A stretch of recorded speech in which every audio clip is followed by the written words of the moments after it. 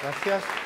Yo soy, eh, como me empezaron a decir acá, el otro Guillermo Vázquez. Ustedes tienen otro profesor, un profesor que se llama Guillermo Vázquez también. ¿no? La idea es, es ahora comentar, como les decía este, la profesora Carla, ver un poco eh, cuáles son los límites, los alcances y los límites de la búsqueda de información en Google.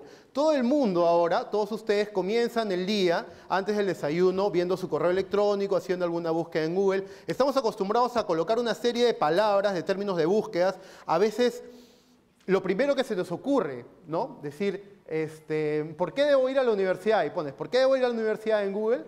Y te empiezan a salir las posibles respuestas. No, no siempre las mejores, ¿no? No siempre. Algunos, algunos dirán para conseguir esposo, para conseguir esposa, para conseguir trabajo, para conseguir efectivamente cualquier cosa. Finalmente, lo que hace Google al ordenarnos y, y entregarnos mil millones de resultados en apenas una fracción de segundo es simplemente decirnos qué es lo más popular y nos lo entrega este, instantáneamente. ¿no? Yo eh, debo confesar que yo también uso Google y uso un montón de Google. Lo uso prácticamente todo el día, ¿ok? Y como, este es algo que debería haberles dicho al comienzo, ¿no? Apaguen sus celulares. Discúlpenme por esto. Eh, lo utilizo prácticamente todo el día, ¿ok?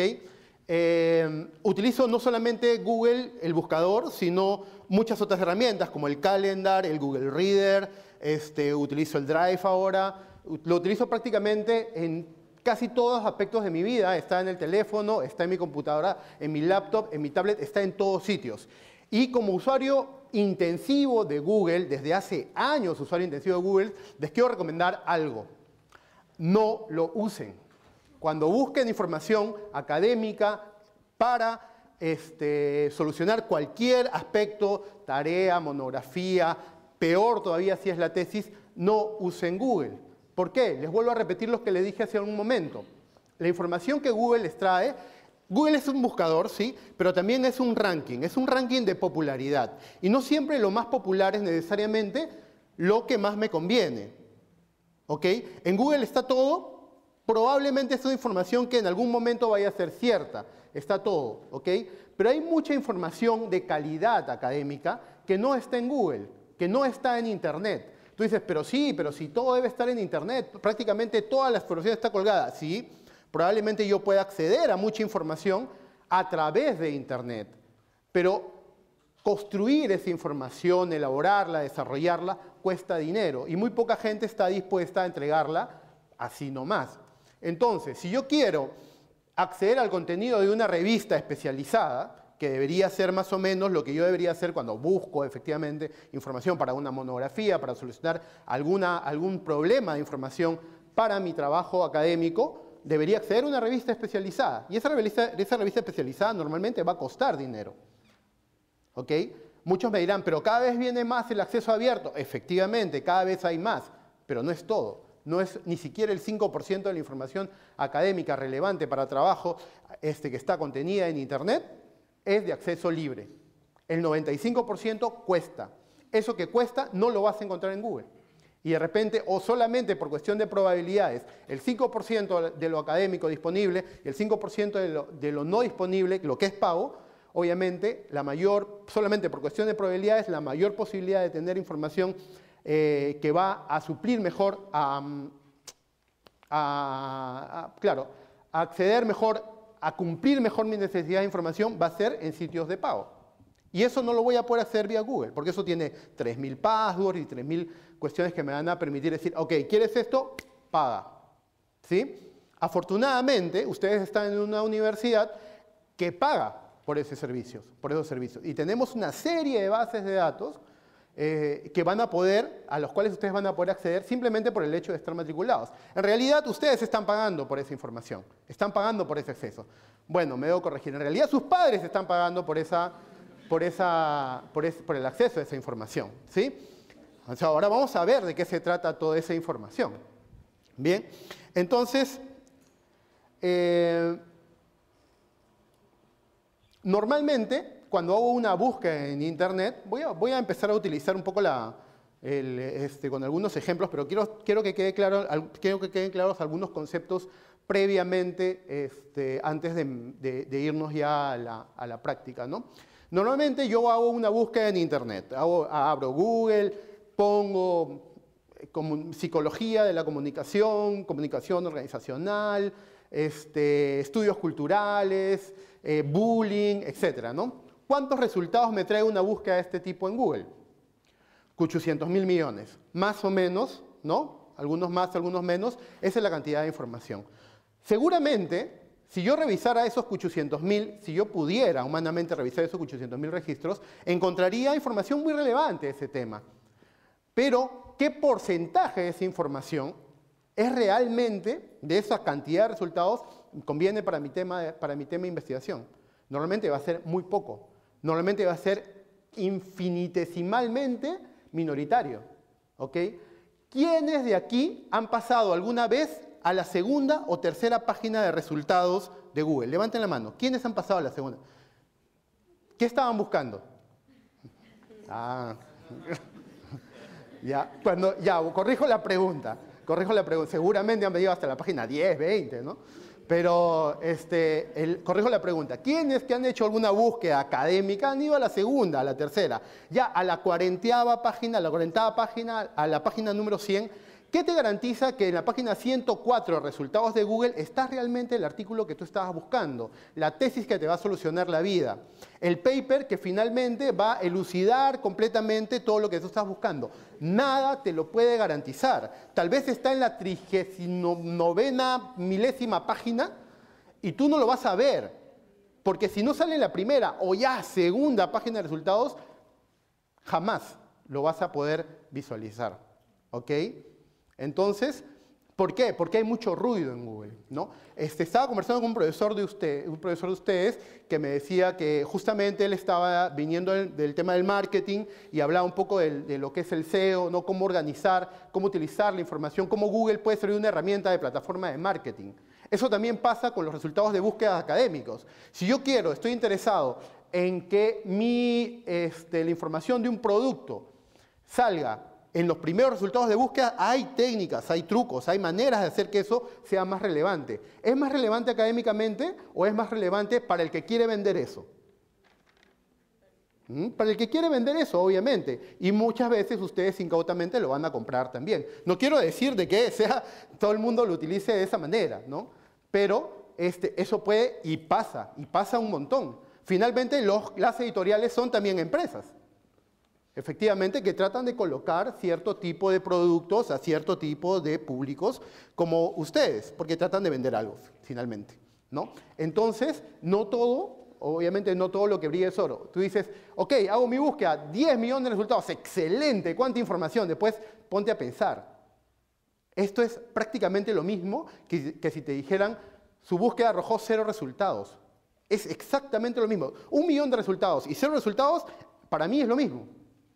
Es lo mismo, porque yo no sé, no sé. O sea, humanamente es imposible que yo revise ese millón de resultados. ¿Cómo es que puedo saber cuál es el mejor resultado para mi búsqueda o los mejores resultados? ¿Sí? Entonces, por eso es mejor ir a lugares específicos con información relevantemente académica, con autores que ya tienen una, este, ya son reconocidos, son válidos este, en la comunidad académica internacional y publican ese tipo de resultados, con revistas que ya tienen también un cierto, cierto prestigio académico, ¿no? con herramientas incluso de búsquedas más específicas para el trabajo que nosotros vamos a hacer. ¿no? Y, eso no necesariamente termina o, comienza en Google, en Google siempre. ¿no? Otra cosa que sucede normalmente es que ni siquiera he terminado de formular la pregunta, la necesidad de información específica, y ya estoy escribiendo en Google. ¿No les pasa que ustedes están, ni siquiera han terminado de escribir y Google también ya te está dando resultados? Ni siquiera has terminado, o sea, ni siquiera has terminado de colocar y ya te están llenando de resultados. Esto es absurdamente rápido. ¿Realmente necesitan información tan rápido? ¿Realmente están tan ocupados ya? No, eso no es cierto. Vamos por partes, ¿no? Vamos por partes, vamos paso a paso. Primero tengo que tener claro qué es lo que yo quiero buscar. De acuerdo a lo que yo quiero buscar, determinaré dónde buscar. Ojo, no siempre Google. No siempre es Google. ¿ya? ¿Dónde buscar? Y recién ahí em, este, escoger un poco cuáles son las mejores palabras para que describen mi tema. Luego a eso se empezaría a seleccionar las palabras, eso lo vamos a ver ahorita en algunos ejemplos, seleccionar los mejores resultados, evaluarlos y después quedarme y organizar esos resultados. ¿Para qué? Para que de esa manera la búsqueda o los resultados de la bibliografía que están recuperando finalmente sean más orgánicos, más este, productos de una investigación más sistemática y no sea lo primero que aparece, es decir, en la primera o segunda página de búsqueda. ¿Ok? Entonces, eso es importante, organizar el trabajo previo a, este, previo a antes empezar a, escribir nada. ¿no? Hay que organizarnos, mentalmente por lo menos. Si no tenemos una información previa, si no sabemos en qué contexto estamos hablando, eh, tratar de mentalmente, de repente, utilizar alguna otra herramienta que no es necesariamente un buscador para ubicar en qué parte del árbol total de conocimientos está lo que yo estoy buscando. Alguno de ustedes está haciendo el tema del bullying, pero ¿desde qué perspectiva? Desde la perspectiva sociológica, desde la perspectiva psicológica, desde la perspectiva educativa, seguramente comunicacional. Comunicacional que en las redes sociales, entonces yo voy tratando de organizar, ok, si la psicología me interesa, entonces la psicología debería ser uno de los términos de búsqueda. Redes sociales también, entonces redes sociales deberían ser uno de los términos de búsqueda. Bullying, efectivamente, bullying es como se le dice ahora, siempre se le ha dicho acoso. Entonces, no solamente, no solamente tengo que buscar como bullying, sino como acoso. Acoso en dónde? En las redes sociales así nomás, en el colegio, en la universidad, en primaria, en secundaria, este, eh, me interesa el tema de la perspectiva de género, no me interesa, ¿no? etcétera, etcétera, etcétera. Ordenando un poco cómo puedo utilizar diversos términos de búsqueda para enfrentar este problema. ¿Ok? Eso antes, siquiera, de abrir, de prender la computadora. Tengo que tener en claro por dónde va y no empezar a escribir a lo loco lo primero que se me ocurre, ¿no? El bullying como problema social en las redes sociales. ¿No? Y a ver qué sale. Si es que Google no se, ha adelantado y me ha empezado a, hablar del bullying en la última canción de Eminem. No sé, se me ocurre, porque ese es algo muy popular. ¿no? Y Google te va a presentar primero lo más popular. ¿Sí?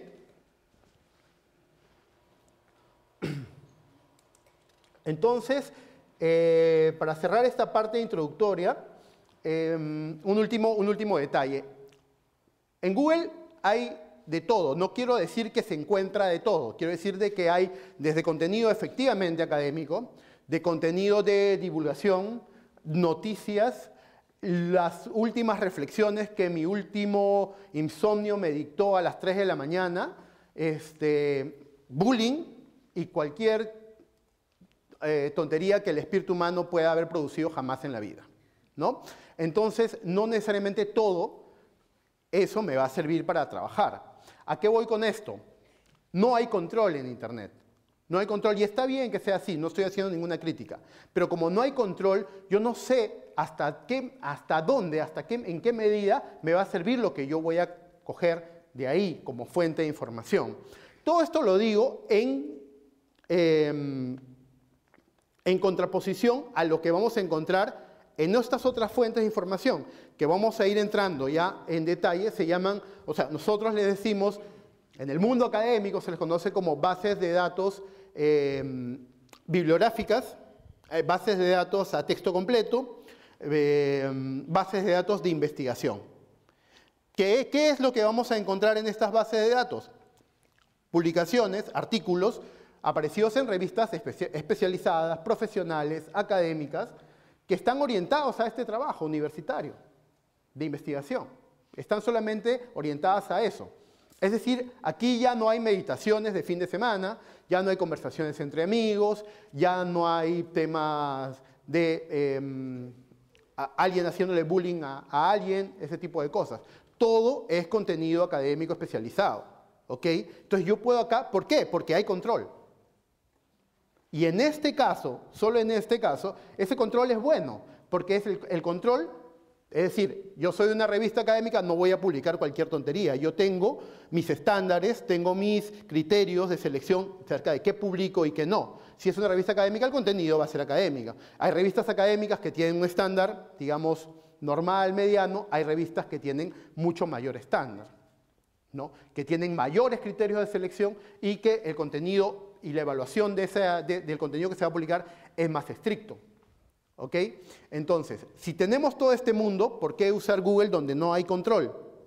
Y tenemos esto porque, obviamente, estamos acá en la Universidad Católica y sus bibliotecarios se han, se han, se han preocupado en seleccionar estas bases de datos para ustedes. ¿Ok? Bien, entonces, habiendo dicho todo eso, ¿dónde están estas maravillosas herramientas? Si vamos acá al link de biblioteca, seguramente Algunos de ustedes, alguno de ustedes debe haber entrado a la web de la biblioteca. Los que no, se las presento. ¿no? Y tenemos esto que dice acá, bases de datos. No sé si se ve bien hasta el fondo, si estoy tapando algunas. ¿no? Entonces, ¿qué son estas bases de datos? Y acá les empieza a mostrar una serie de productos finalmente. ¿no? Entonces ya hablamos de lo que Google es y por qué no usarlo. Ahora voy a hablar un poquito, pero solamente un poquito, de lo que son estas bases de datos y por qué sí es mejor usarlas. Primero, es contenido controlado, como les dije. Acá no voy a encontrar, eh, como les digo, cualquier publicación de cualquier blog que esté buscando novia o sea una chica popular, etcétera. Que puede estar hablando efectivamente de este, mm, estudios culturales desde una perspectiva feminista, claro, pero es un blog que normalmente no trata sobre estos temas. ¿no? Pero ojo, si yo, si yo hago una búsqueda en Google, lo más probable es que me salga entre los primeros resultados. ¿Por qué? Porque es un, porque es un blog popular. Lo que hay acá son artículos, normalmente. Artículos de revistas académicas, científicas, académicas, especializadas, que tratan sobre esos temas. ¿Ok? Sobre los temas que nos interesan. ¿Todas estas bases de datos me conviene utilizar? ¿Me conviene utilizar? No, porque por ejemplo Science Direct es una base de datos especializada en ciencias duras y en ingeniería. ArtStore, ArtStore es una base de datos de imágenes, de repente me va a servir utilizarla, de imágenes, reproducciones de obras de arte, fotografías, ya sea periodísticas o artísticas también, de repente me van a servir en algún momento. ¿no? Y así hay una serie de bases de datos, hay bases de datos multidisciplinarias, nos trae un poco de todo. ¿Cuál es la relevancia, la importancia de utilizar esto? Es que otra vez el contenido es controlado. ¿Qué es lo que sucedía hasta hace unos pocos años? La universidad en su hemeroteca se suscribía a una serie de revistas en papel. Entonces nos llegaban 12 números al año, 6 números al año, 4 números al año, lo que sea que dicte su, periodicidad. Llega un ejemplar en papel, llega a la revista y ¿cuánta gente puede, consultar este número de revista? una sola persona al mismo tiempo. ¿Qué es lo que ha pasado ahora? Las editoriales, que normalmente eh, producen o publican decenas o a veces centenas de títulos de revistas, han digitalizado sus contenidos y las venden a otros proveedores como estos. Algunas veces los venden ellos mismos, como en el caso de Science Direct y Elsevier, que es la editorial eh, de publicación científica más antigua y más importante del mundo. Publicaba Galileo, con eso les digo todo. Y este, hay otras que no, hay otras que le compran el contenido, le compran el contenido como por ejemplo ProQuest, por ejemplo EBSCO, ¿no? que están un poco más abajo, ya la van a ver acá.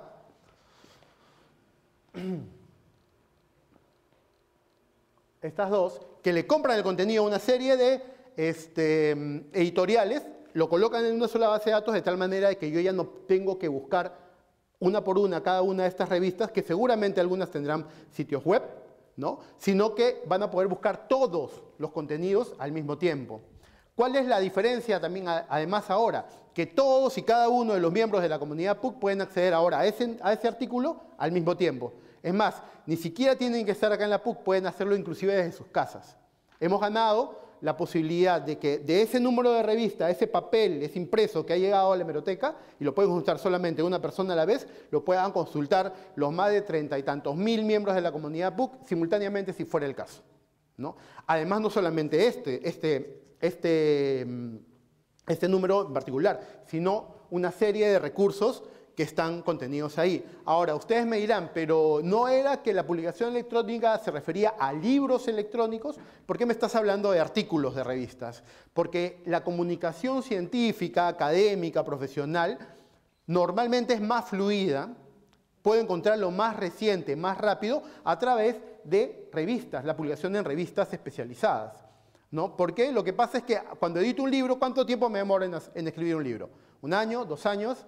Tres años, hasta que lo mande publicar un año más. Cuando sale por fin publicado mi libro, ya nadie lo va a leer porque está completamente desactualizado. Es lo que pasa, o es lo que puede pasar normalmente, ¿no? En cambio, si hago un artículo, me demoro mucho menos, se demoran además mucho menos en publicarme, y la comunicación se hace cada vez más fluida. Por eso es que cada mes, cada vez más los autores están prefiriendo publicar en revistas académicas. Y por eso la relevancia de estar siempre al día, siempre eh, viendo cuáles son las revistas que me convienen, cuáles son las revistas que están dentro del tópico que, el que yo me estoy empezando a perfilar como investigador o como experto en un tema y este, suscribirnos a ellas.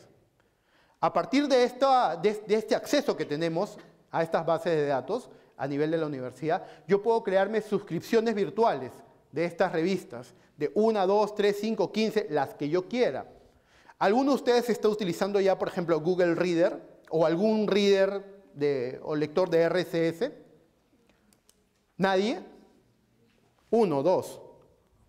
¿Y qué pasa con el resto? ¿Saben a, qué, qué, es un lector de RCS? ¿Qué es RCS? My God. ya. Se lo voy a explicar rápidamente porque no es parte del tema, ¿ya? Pero les voy a recomendar, sí, les voy a recomendar este, que me visiten. Que me visiten. Em, al, final voy a hablar de exactamente qué trata mi servicio, pero, em, a ver, ah, por ejemplo, tú tienes cuatro revistas que te interesan. Esas revistas, tres son mensuales y una es semanal, por ejemplo. ¿no? Las cuatro revistas son súper interesantes, ni siquiera tienen que ser de comunicaciones. Una de ellas puede ser este, Batman Begins. ¿Ya? Ok, puede ser un cómic, puede ser lo que sea que tenga un blog, algo que tenga una periodicidad, que salga cada cierto tiempo. ¿Ok? Y tú necesitas revisarlas porque te interesa mucho. Entonces, tú dices, bueno, esto sale más o menos a fin de mes. Entonces, todos los fines de, meses, de mes, vas, a la, entras a la web de la revista y chequeas lo que hay. ¿no? Tú dices, ah, pero no hay nada nuevo, todavía no aparece. ¿no? Bueno, vengo, mañana, vengo más tarde, y así, ¿no? Así para las tres revistas, y la, de periodicidad semanal ya ni te cuento. Y, que, si hay una de noticias, por ejemplo, que se actualiza cada hora, o cada media hora, o cuando se, se, acontece la noticia, vas a tener que estar entrando a cada rato al comercio para ver si es que hay o no hay una nueva noticia, ¿sí o no? Cuando tú tienes un lector de RSS, una fuente, una fuente de RSS, lo que puedes es agregarla. Todas las revistas electrónicas, todos los blogs, todos los periódicos tienen ahora fuentes RSS. Lo que haces es una dirección, ¿no? Es una dirección que tú copias a un producto de Google, por ejemplo, que se llama el Google Reader, y, desde, y se actualiza ahí. De tal manera de que tú abres un Google Reader, tú abres un Google Reader y van a aparecer inmediatamente todas las actualizaciones en el momento que se produzcan de todas tus fuentes de información. Esto es muy abstracto, creo que voy a tener que entrar al mío para que, para que quede eh, un poco más claro. ¿no?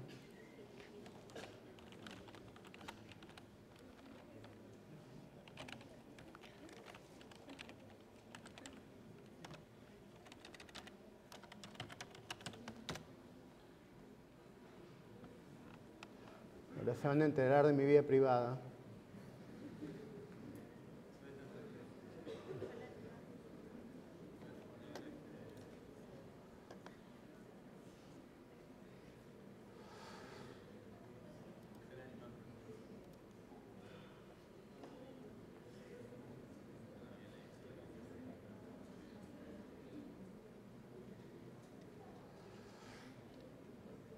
Bien.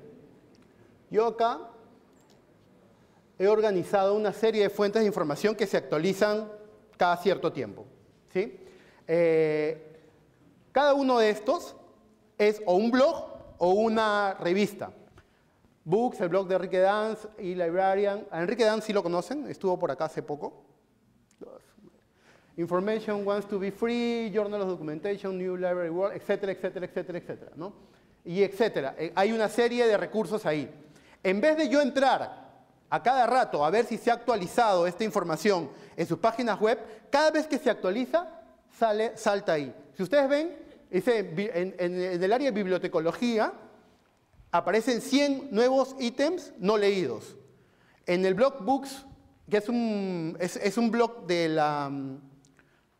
Ah, ya ni me acuerdo de dónde decía. Bueno, hay 21 nuevos sin leer, en el blog de Enrique Danza hay 13 nuevos sin leer, en iLibrarian 14 sin leer, etcétera, etcétera, etcétera. Por ejemplo, si yo dijera, ok, voy a leer este acá, Choose September Reading Group Book, lo leo y aparecen ya 20.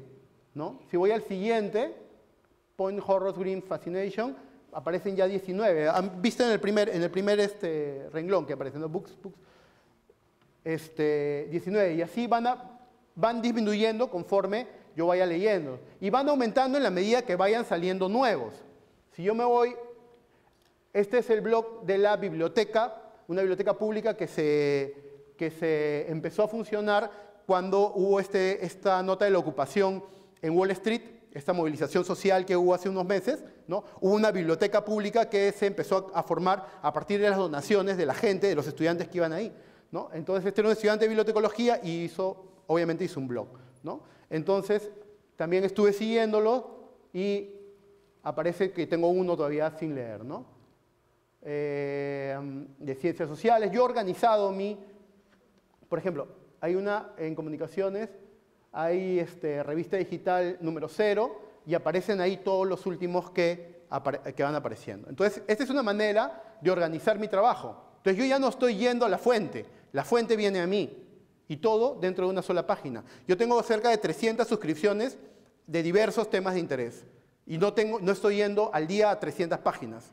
¿no? Entonces, obviamente tengo un montón de cosas que no leo, pero yo puedo determinar qué leo, qué me interesa leer en ese momento o no, o qué marco para leer después. ¿no? Esto es cómo funciona un reader. Entonces volvamos ahora. Entonces, ¿qué pasa? Yo puedo, a partir de esa herramienta, que en, una futura, en un futuro taller, o si quieren, se acercan a, a la oficina, a la biblioteca y les enseño cómo utilizarlo, de verdad que les ahorra Mira, mi vida es una antes y otra después del Google Reader. De verdad, así, sin exagerarlo. ¿No? Ni siquiera el matrimonio me ha cambiado tanto. ¿No? De verdad, porque puedo mantenerme al día sin necesidad de estar buscando información. Yo ya sé qué me interesa. Y puedo agregar y sacar cosas en el camino. Esta solución no me interesa, la anulo. Me interesa una nueva solución, la agrego. La he organizado, como ustedes ven, en varios tópicos. Tengo un tópico de, series, un tópico de cine, un tópico de de bibliotecología, un tópico de ciencias sociales, un tópico de ingeniería este, electrónica, porque antes yo trabajaba en la ingeniería electrónica, etcétera, etcétera, etcétera. ¿Ok? De tal manera de que ya no es este, mm, eh, que, Mahoma va a la montaña, sino que la montaña puede venir a Mahoma sin necesidad de que esto implique de que la montaña aplaste a Mahoma. ¿Sí? Sino que más bien nosotros manejamos cómo, cómo, cómo organizamos nuestro tiempo. Entonces, le decía, Acá, dentro de estas, de estas este, mm, bases de datos, vamos a encontrar muchas revistas, artículos de revistas organizados como revistas. Yo me, puedo, me interesan cinco, cinco de esas revistas, las agrego a mi Google Reader, por ejemplo. Por ejemplo, también podría setear que estas revistas lleguen a mi correo electrónico. Y si estoy dentro de la PUC, puedo acceder a ellas. No es el objetivo de esta charla eh, enseñarles a usar esas bases de datos porque esto es un poco más complejo. Simplemente decirles qué es lo que pueden encontrar. Ahorita vamos a ver también un ejemplo acerca de qué es lo que, es lo que podemos encontrar. ¿no? Por ejemplo, eh, Carla me comentó de que había una revista, eh, había una revista que era como que relevante para todos ustedes. ¿no? Voy a buscarla. Obviamente, no, como les decía, no todas estas bases de datos me van a servir. Hay bases de datos de matemática, bases de datos de ciencias, bases de datos de derecho, de repente en algún momento me puede servir, de repente no tanto, ¿no? Eh, yo debería empezar a saber, obviamente el alcance de cada una de ellas está al costado, es decir, qué es lo que tiene cada una de esas bases, qué tópicos trata. De acuerdo a eso, yo puedo elegir o no utilizarla. Y después vamos a ver una herramienta poderosísima que es lo último que hemos implementado. Eh, si yo quisiera localizar, por ejemplo, saber si tenemos el acceso a una revista determinada o no, incluso hay un buscador de revistas. Tenemos una pequeñita base de datos, una muy pequeña, que lo que hace solamente es decirte no qué artículos hay, sino si, si, si la revista está o no está. Esa base de datos se llama Primo Revistas Electrónicas. Entonces, el journal, el que estaba buscando, se llama Human Communication Research. Entonces yo le digo, ok, quiero saber si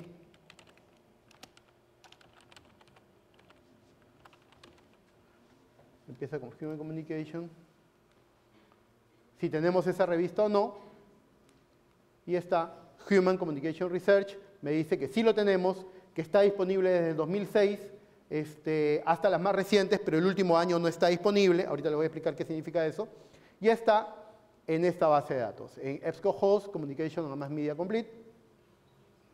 Hago clic acá, digo ver la revista, y me va a derivar en este caso a esta base de datos que se llama EBSCO. Yo no, no lo, mencioné al comienzo, mientras carga la revista, pero, eh, en el momento que ustedes tengan una pregunta, por favor háganla. Si ya, si ya se ha pasado algo de lo que hemos conversado ahora, podemos aprovechar que está cargando la revista. Ahí está.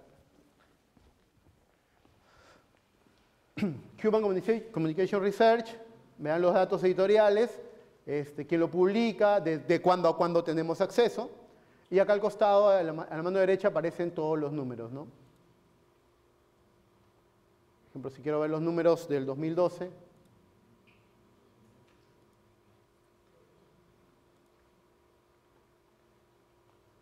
por alguna razón, genial.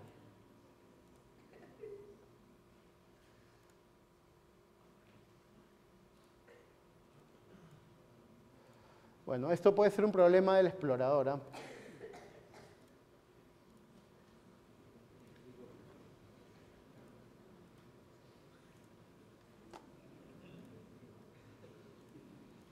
Un segundo.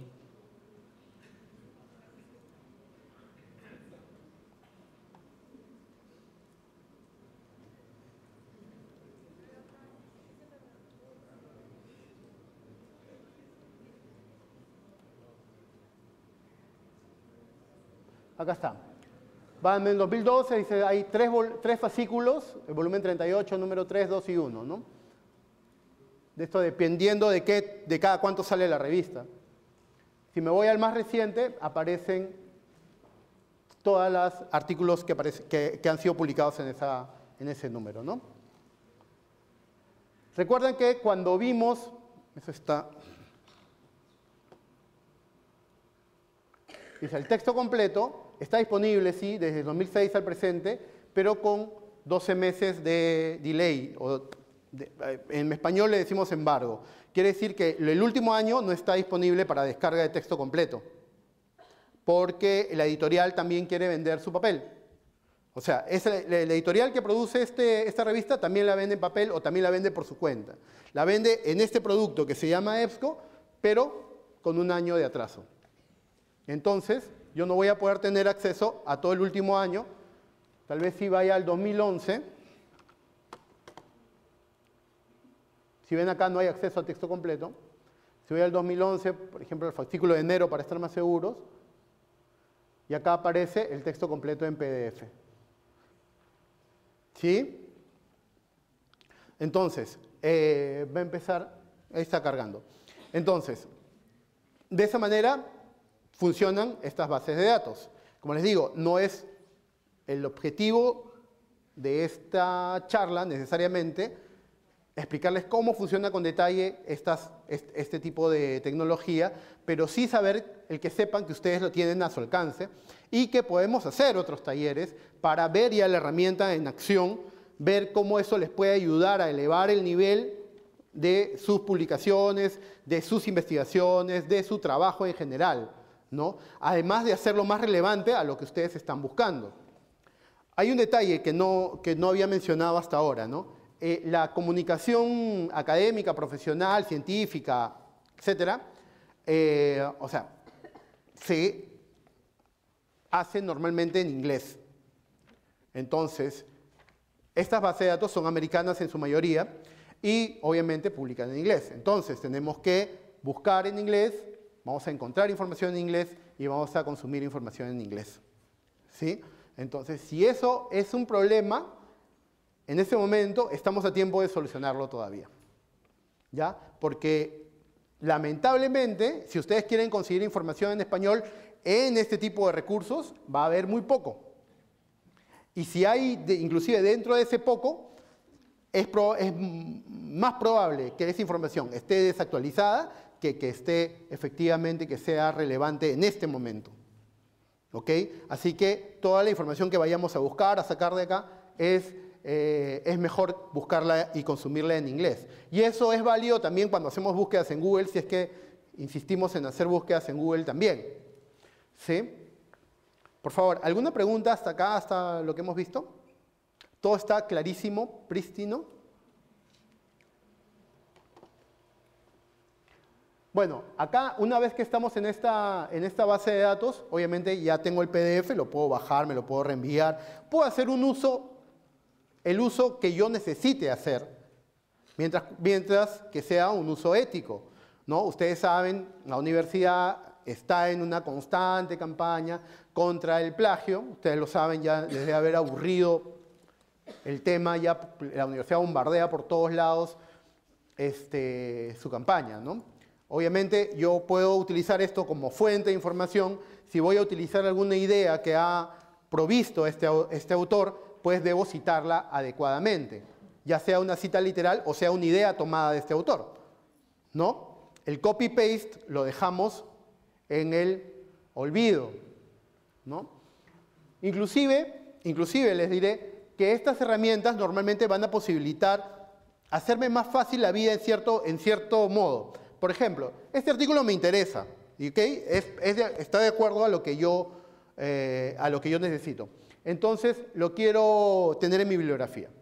¿Cómo hago? Yo obviamente puedo bajarlo, imprimirlo, ¿no? grabarlo en mi USB, bajarlo y mandarlo por correo electrónico. Es un PDF común y corriente.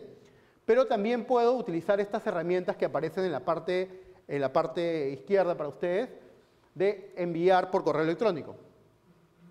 ¿Okay? ¿Qué pasa cuando le doy a esta, esta posibilidad? Me envía el artículo por correo electrónico, perfecto, ok, normal, me ahorro un paso, nosotros que andamos tan apurados todos los días, pero además me puedo enviar el formato, una cita bibliográfica. Ustedes ahora que están llevando métodos, van a saber de que ustedes van a tener que utilizar un determinado tipo de cita bibliográfica. Y que no es lo mismo citar un artículo de una revista que la revista, que un capítulo de un libro que el libro, un, artículo en un periódico, un artículo en un blog, en una base de datos en disco compacto, una conversación telefónica, un DVD, etcétera, etcétera, etcétera. Cada uno, de, cada uno de estas fuentes tiene una manera diferente de ser citada. Y es muy pesado aprenderse todas las normas que hay. Ustedes han visto este, mm, las normas que tiene la universidad. ¿No? Son eh, un documento que les han entregado cuando estaban en estudios generales, que es el Manual de Citado de Fuentes Documentales de la Universidad Católica del Perú, ¿no?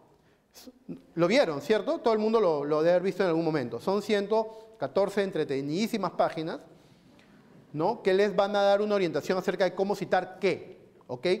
Ese manual, ese, ese, ese manual de estilo, está basado en uno de los estándares internacionales. Si ustedes ven, todo esto que dice formato de citas, AMA, APA, Chicago, Harvard, MLA, Vancouver y otros más, porque hay muchos más, este, son estándares internacionales para citado de fuentes documentales.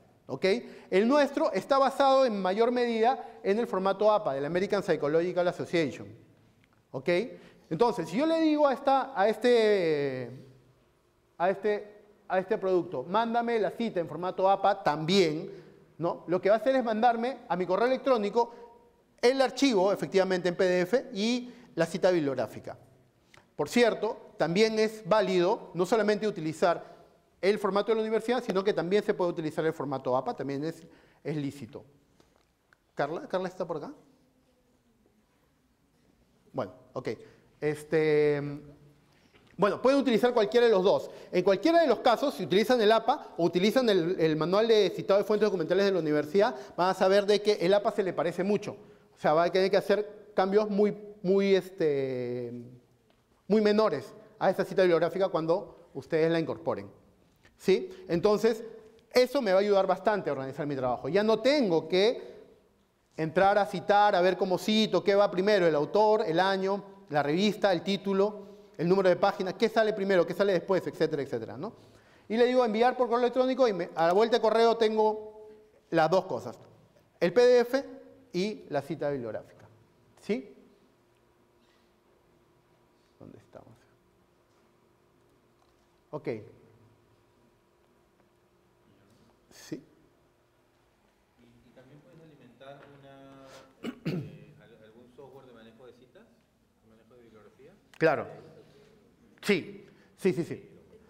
Eh, a ver, a lo que se refiere Juan Fernando, no sé si lo han escuchado, es a software de manejo de citas bibliográficas. ¿Ok? Eh, de repente no, no, han, no han oído hablar de ello todavía, pero hay unas herramientas de productividad, digamos, que nos ayudan a administrar las citas. Normalmente cuando yo hago una investigación, un research, voy a tener una serie de citas de un bicorpus teórico, ¿cierto? ¿Cómo las organizo? ¿Cómo hago para incorporarlas a mi trabajo? Mi trabajo yo lo escribo en Word, perfecto, lo escribo en Word, pero ¿cómo hago para el citado a, pie de página o hacia el final? ¿Cómo hago para organizar mi bibliografía para colocarla al final de, la, de mi trabajo de investigación? Todo eso hay software que nos permite, nos permite hacerlo. Hay software comerciales como EndNote o ProSite o Reference Manager y hay software de acceso abierto que cualquiera de nosotros puede bajar y utilizar, como por ejemplo Sotero, ¿ok? O Meridian, ahora último. Entonces, yo también podría, a partir de los datos de, esta, de, esta, de estos programas, de, estos, de estas bases de datos, exportar, como dice acá esta opción de acá, exportar los registros bibliográficos a, una, a un, alguno de estos sistemas. Por ejemplo, en formato RIS, que es un formato común para todos esos, no sé si se lee hasta el fondo, eh, en Node ProSize Reference Manager Sotero, formato común, digamos, estándar para estos para estos este, administradores y bibliográficas, o alguno de esos otros. De tal manera que yo esa información la puedo incluir inmediatamente en mi eh, administrador o gestor de citas bibliográficas y ya lo tengo más fácil para este, poder trabajar con ellos. No. Obviamente, este, este administrador de citas bibliográficas me dará los datos bibliográficos, o sea, los autores, el título, dónde se publicó, cuándo se publicó, en qué páginas, etc. Pero además, como esto lo hemos sacado de una base de datos, me va a dar la dirección y cuándo lo he sacado. ¿Ok? Porque como es una fuente que es electrónica, es importante citar también cuándo se ha sacado. Eso es algo que es relevante este, cuando utilizo una fuente electrónica. ¿Cuándo he hecho esa búsqueda? ¿Cuándo lo descargué? ¿No? Eso no es relevante necesariamente cuando lo saco de una revista o cuando lo saco de un libro. El libro no va a cambiar, el libro está ahí. Es la edición de 2010, punto. A ese libro no se le va a cambiar nada. En cambio, a estas fuentes tal vez pueda pasar algo. Es por eso que es relevante cuándo también. ¿Sí? Bien.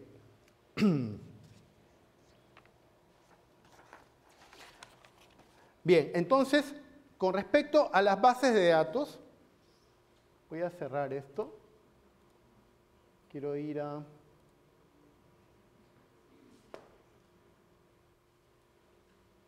Ok. Como les decía, tengo una serie de bases de datos y al comienzo, al momento de empezar a buscar la información, yo todavía no sé, yo soy nuevo buscando información. Yo no sé cuál de esas bases de datos me conviene utilizar o no. Entonces, por eso es que la biblioteca ha implementado un nuevo servicio, hemos conseguido un nuevo proveedor de información que me va a permitir buscar en todas esas bases de datos, todas. Yo no sé, porque normalmente lo que haríamos sería, yo, les diría, no, bueno, para ustedes es mejor que busquen en ProQuest, después hacen sus mismas búsquedas en EBSCO, después hacen sus mismas búsquedas en Emerald y después hacen las mismas búsquedas en JSTOR. Estoy seguro que van a encontrar información que les, que les conviene. O sea, van a tener que hacer la misma búsqueda en cuatro lugares distintos. ¿Ya? Pensando en eso, nosotros lo que hemos hecho es implementar un servicio que busca en todas al mismo tiempo. ¿Ok? Pero no solamente eso, también va a buscar en el catálogo de biblioteca al mismo tiempo. Pero no solamente eso, además va a buscar, por el mismo precio, en una serie de recursos de información de acceso libre en Internet. Va a buscar en una serie de eh, repositorios de información de acceso libre, académicos, de acceso libre en Internet. Ojo, no estoy diciendo que va a buscar en Internet.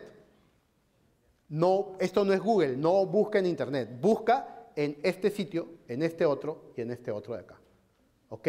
Y nosotros en la biblioteca hemos elegido cuáles de esos sitios, que todos son este, válidos académicamente, con información muy relevante, cuáles son los mejores para las, el trabajo en nuestras especialidades, en cada una de esas especialidades, y las hemos incluido en este producto que ahorita lo vamos a ver que se llama Primo.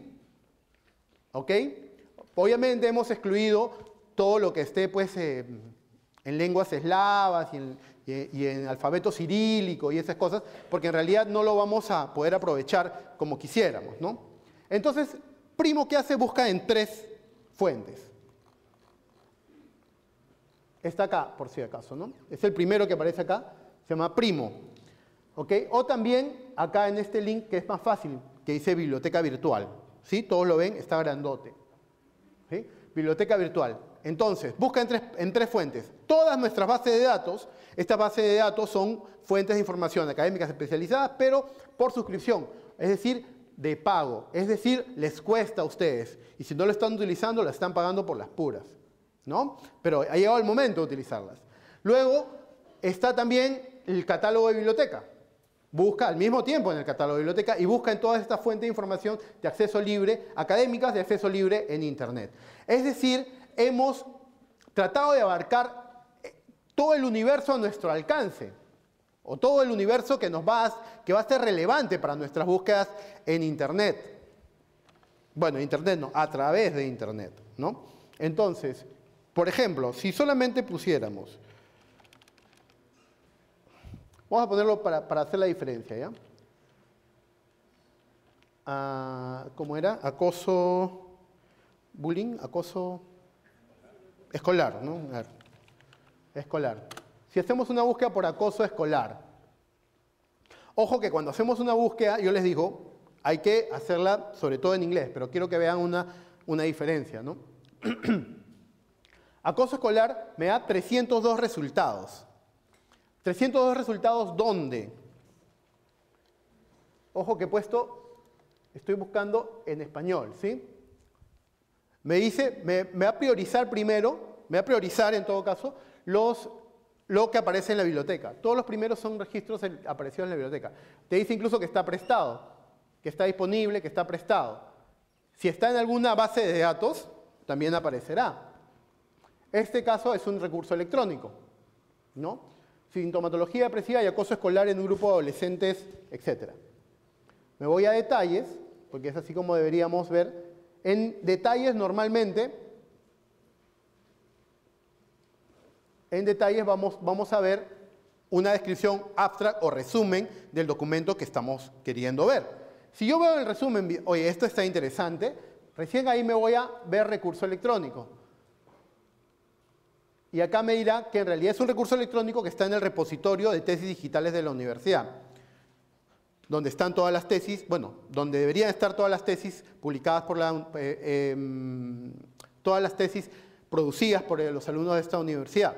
¿no? En realidad están hasta el momento las tesis que han sido expresamente autorizadas por sus respectivos autores de estar en el repositorio. ¿no? Entonces aparece el link al repositorio y en el repositorio está el link al PDF. ¿Ok?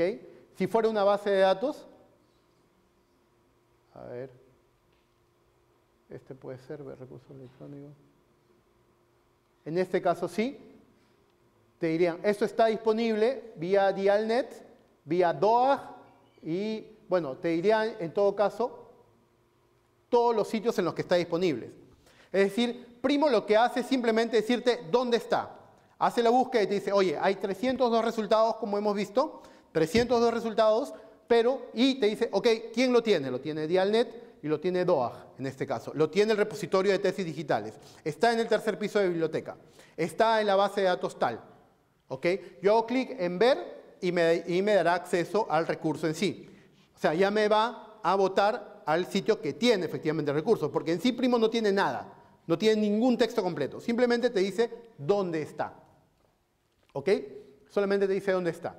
En el caso de este recurso, son dos recursos en línea gratuitos. Dialnet, tanto Dialnet como DOAG. DOAG es el Directory of Open Access Journals, que es la iniciativa más grande, más comprensiva a nivel mundial, este, donde se almacenan una serie de revistas de acceso, de acceso libre. ¿Ok? Hay algunas peruanas y algunas en español, por eso es que me acaba de salir. 302 resultados para acoso escolar. Ahora, ¿qué pasaría si yo hago la misma búsqueda? por bullying.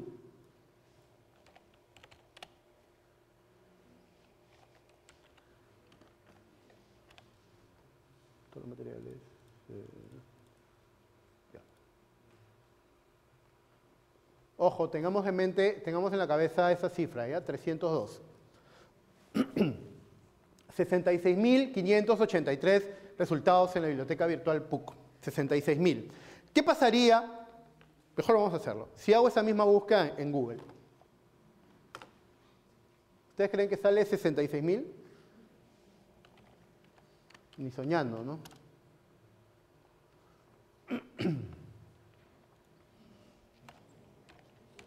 Feliz cumpleaños Chabuca Granda.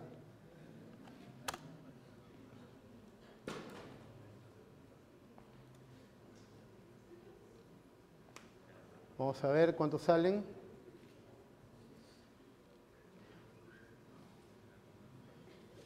Qué horror.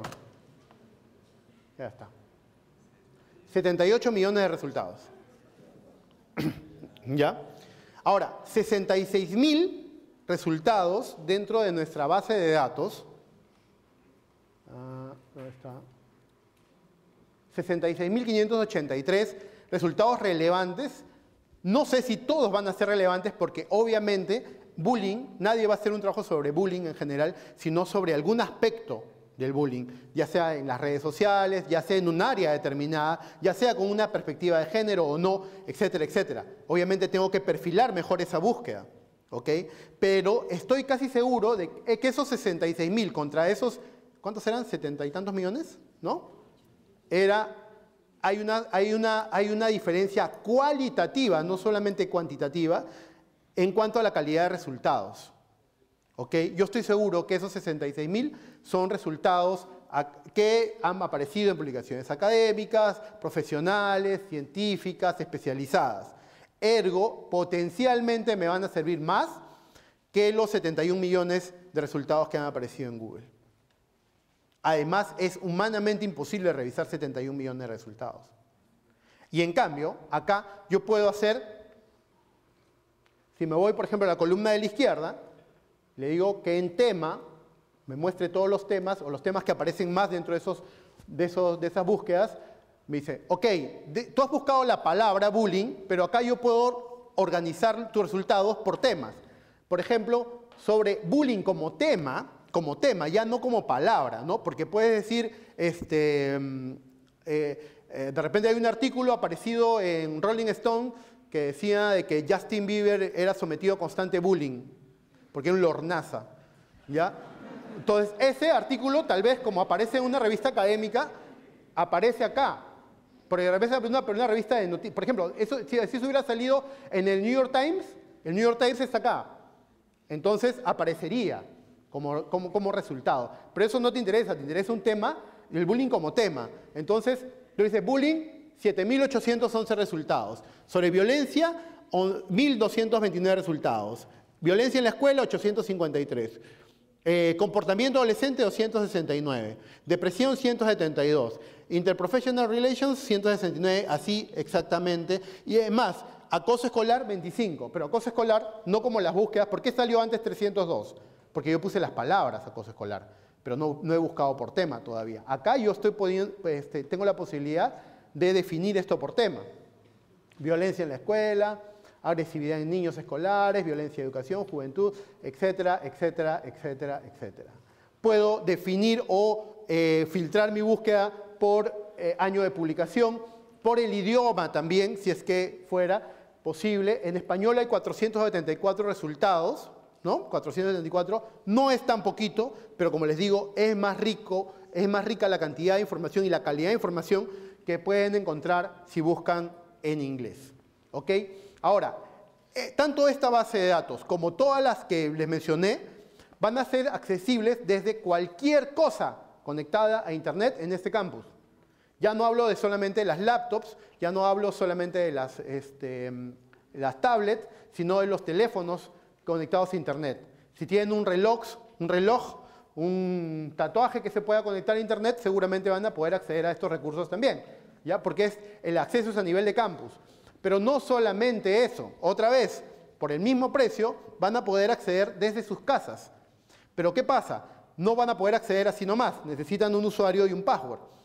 ¿Qué usuario y el password? ¿El password del, del campus virtual? Lamentablemente no. Estamos camino a eso, pero no, van a necesitar otro más. ¿Alguno de ustedes ha hecho alguna vez una renovación en línea de libros en la biblioteca? Ya, ese usuario y ese password. El password de mi cuenta de la biblioteca, ese es el que les va a servir. Primo va a funcionar normal, ¿ya? Funciona normal. Pero, déjame ver un recurso electrónico. Ahí está. Pero, o sea, yo hago la búsqueda exactamente igual. Bueno, en este caso está acá. Eh, yo hago la búsqueda exactamente igual en,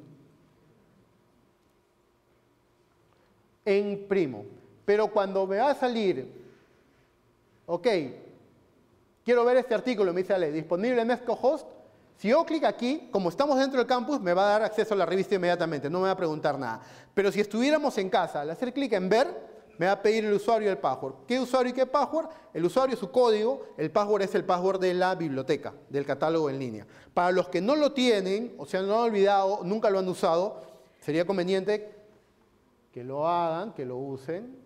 ¿Cómo lo consigo de nuevo? Entro a la, al catálogo,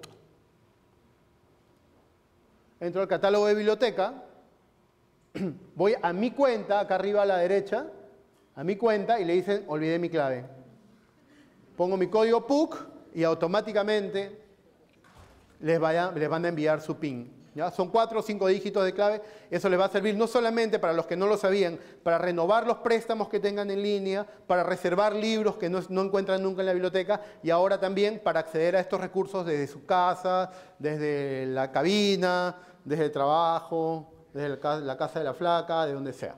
¿Sí? Bien, creo que ya me pasé. Para terminar, quiero em, mostrarles con un ejemplo muy gráfico cómo es que las apariencias engañan. Yo puedo decir, pero si yo siempre he solucionado cualquier problema de, información que este, he tenido en la vida usando Google, ¿no? Eh, como eh, les, suelo decir, va a llegar un momento en que a Google le preguntas, eh, ¿dónde dejé la llave del carro? Y Google te va a decir, encima del refrigerador. ¿Ya? Porque te lo va a poder decir en algún momento, pero no es necesariamente la mejor idea al momento de enfrentarnos al trabajo académico.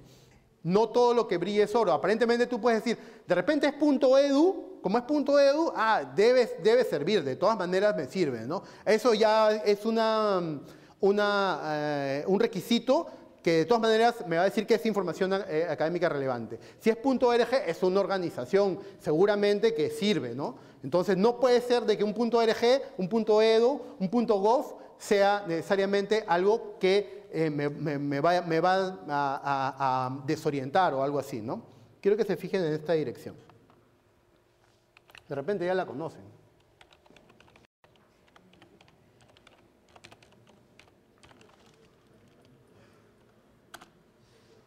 www.martinlutherking.org. Cuando quieras, Internet Explorer.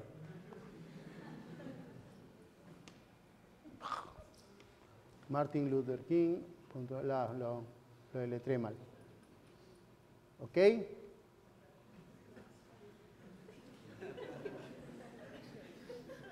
Aparentemente es la página oficial de Martin Luther King. Por favor, tómese un momento para leer lo que dice. Esa página está hosteada por el Ku Klan. Y es .org. Y es martinlutherking.org. O sea, no es Martin-medio Luther-medio King, ¿no? Hasta con letras de rap. Hosted by Storm, Stormfront. ¿Qué es el Stormfront? Otra vez, cuando quieras. Es efectivamente un movimiento racista de la supremacía aria. ¿Ok? Entonces, debemos tener cuidado, ver de dónde estamos sacando la información. Hay un principio que se llama el principio de autoridad al momento de evaluar las fuentes. Ok, yo encuentro un artículo que puede ser aparentemente muy bueno, muy relevante a lo que estoy haciendo, pero ok, ¿dónde ha aparecido esto? ¿En qué página? ¿Me, puedo ir al, home de esa página? ¿Qué intereses están detrás de los que publican ese tipo de cosas? Esto es un ejemplo extremo, ¿no? Este es un ejemplo que este, prácticamente es absurdo, pero hay cosas mucho más sutiles que eh, nos podemos ir encontrando en la web y que nos pueden llevar a conclusiones que, no necesariamente, que académicamente no son necesariamente las mejores. Bueno, finalmente decirles de que yo trabajo en la Biblioteca Central y mi oficina se llama de Orientación e Información Digital. Yo soy, como les dije, el otro Guillermo Vázquez.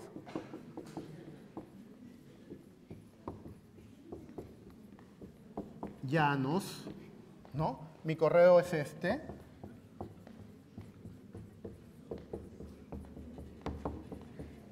¿Sí? ¿Y cuál es mi trabajo? ¿Cuál es exactamente a qué, me dedico? A ayudarlos. ayudarlos en lo que sean sus necesidades de información no sé, estoy buscando información. Antes lo que pasaba, por ejemplo, inclusive antes de mi generación o de mi generación, ¿no?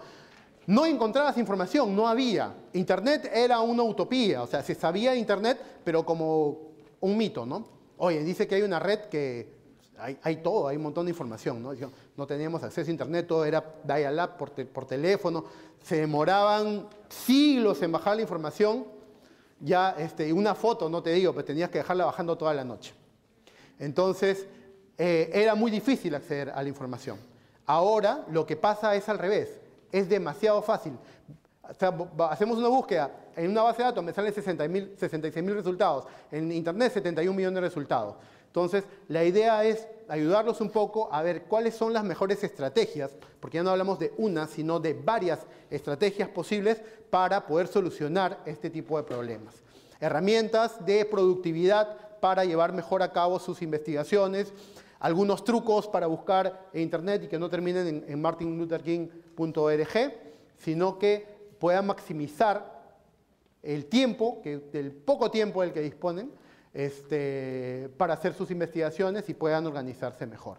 Así que ese es mi correo, no sé si se lee hasta el fondo, es GJ Vázquez, el que quiera esté interesado en apuntarlo, GJ Vázquez, Péguenme un mail, eh, coordinamos la hora en la cual podemos este, entrevistarnos, 15, 20 minutos, media hora, dos horas, por favor, sus problemas personales en casa o con sus patas, a mí conmigo, problemas informacionales, y los estaré esperando eh, para, lo que, para lo que necesiten. Sí, espero que les haya servido un poco esto de, de orientación. Gracias.